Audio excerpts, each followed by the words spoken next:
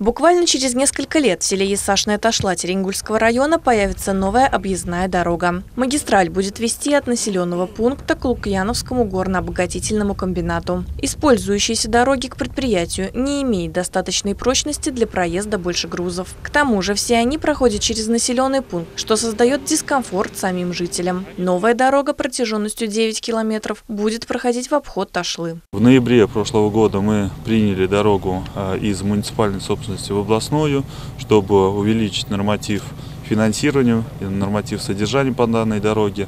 В текущем году э, будет поставлен на капитальный ремонт мостовой переход по населенному пункту. Горно-обогатительный комбинат ежегодно добывает несколько тысяч тонн кварцевого песка. В прошлом году на его базе было открыто производство сухих строительных смесей. Строительство новой дороги позволит увеличить объем производства, а следовательно и количество рабочих мест. Я надеюсь, что мы не сорвем по строительству дороги, э, которая будет выходить уже на Синделеевский район э, то тогда Сергей Иванович сегодня проинформировал о том, что они готовы увеличить объем производства. Это, естественно, приведет э, к резкому увеличению количества работающих. На возведение дороги региональные власти направят 90 миллионов рублей. Параллельно с этим начнутся работы в самой Ташле. Будет установлено новое уличное освещение, проведен ремонт в школе и сельском клубе. Анна Тищенко, новости Ульяновской правды.